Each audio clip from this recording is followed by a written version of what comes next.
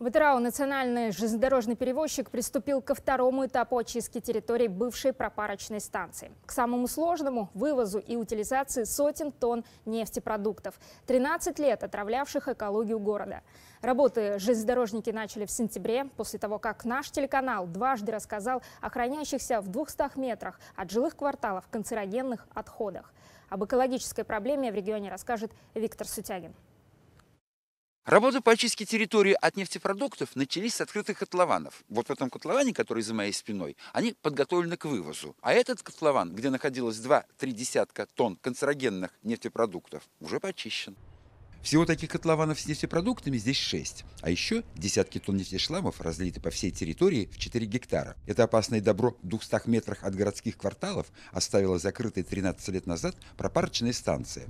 После сюжетов нашего канала КТЖ демонтировала эстакаду. Убрали цистерны, рельсы. А вот самым опасным, нефтепродуктами, по каким-то причинам решили повременить. Департамент экологии по Тарауской области в связи с невыполнением выданного ранее предписания было возбуждено дело об административном правонарушении, которое на сегодняшний день находится в суде города Атрау на рассмотрении. Поэтому мы продолжаем следить за ситуацией на старой пропарке. Представители КТЖ заверяют, работу доведут до конца. Мы э, заключили договор специализированной компанией. На данный момент вывезено 170 тонн вот самозученного грунта. Сейчас данный, на данный момент участвует по очистке специ... Э, около 100 человек. Тем не менее, экологи продолжают следить за ходом работ на территории пропарки.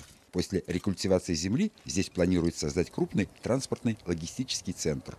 Виктор Сутягин, Амантай Матенов. Итоги дня от ИРАУ.